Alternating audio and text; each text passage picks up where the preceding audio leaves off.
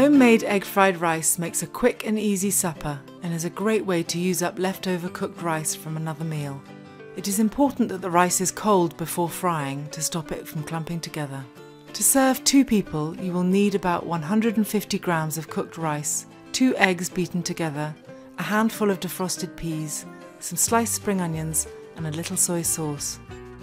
Place a good quality non-stick wok over a high heat. While the wok is heating, mix a tablespoon of oil through the rice until the grains are evenly coated. When the wok is nice and hot, add the rice and fry for a few minutes before pushing to one side and pouring in the beaten egg.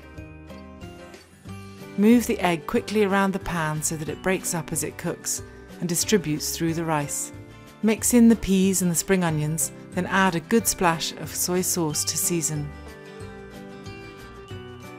Serve straight away, garnished with a little fresh coriander.